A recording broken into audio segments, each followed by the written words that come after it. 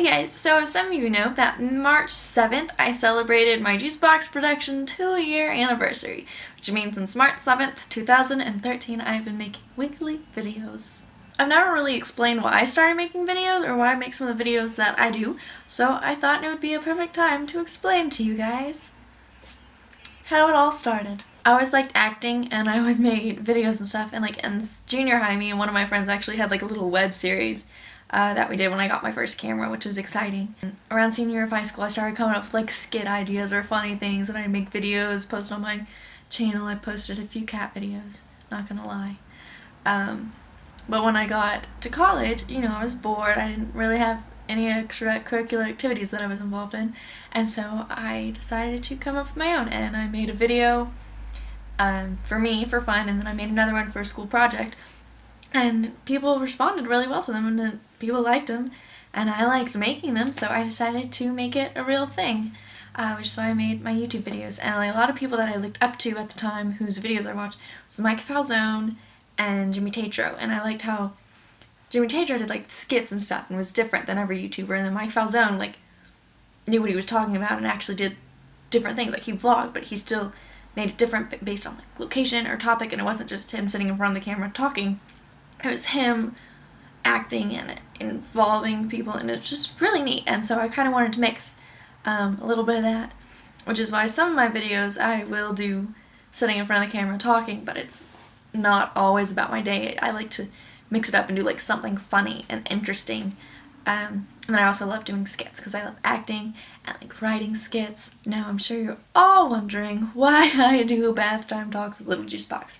A lot of people want to know how I came up with that idea. Before I even knew what YouTubing really was, I used to watch Bertie Bert G and Dom Dable, who are some British YouTubers. There's a time where both of them around the same time uh, did bath chats, which was where they would vlog, but they do it in the bathtub. You know, I was like, that's a cool idea, but I can't really do that. And so I like tried to come up with a version of how I could do that, which I was like, I'll just sit in the bathtub fully dressed, have it like on a tripod, and have it facing me. And then I was like, what do I talk about? And I was getting into Twitter and all the stupid fact pages on Twitter, and I was like, oh, yeah, I'll do this. And then I just commented on them to add my own twist to it to make it a little bit different. And that caught on and went really well. And so I was like, what can I do to make them different? So the second one, I had like other people in bathtub with me, and then I did the shower one, which was awesome. And then the most recent one, I ate pancakes, you know.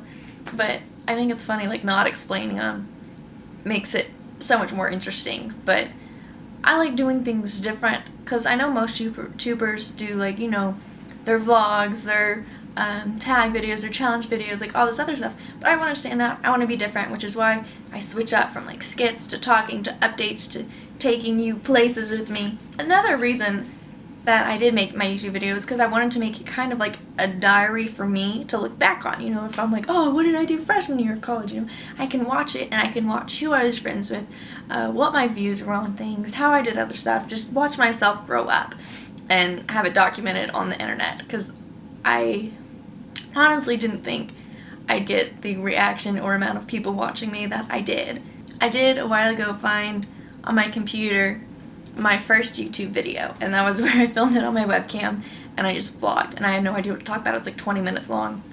And me talking about like cats and stuff.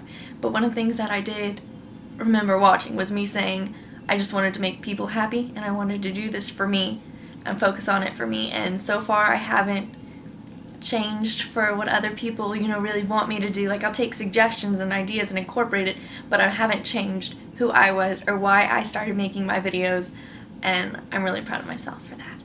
Um, so this video wasn't funny at all. So this is Leila's cheesy two-year anniversary YouTube video, and I hope you guys all do awesome in your days. Peace, love, and kittens. I'm out.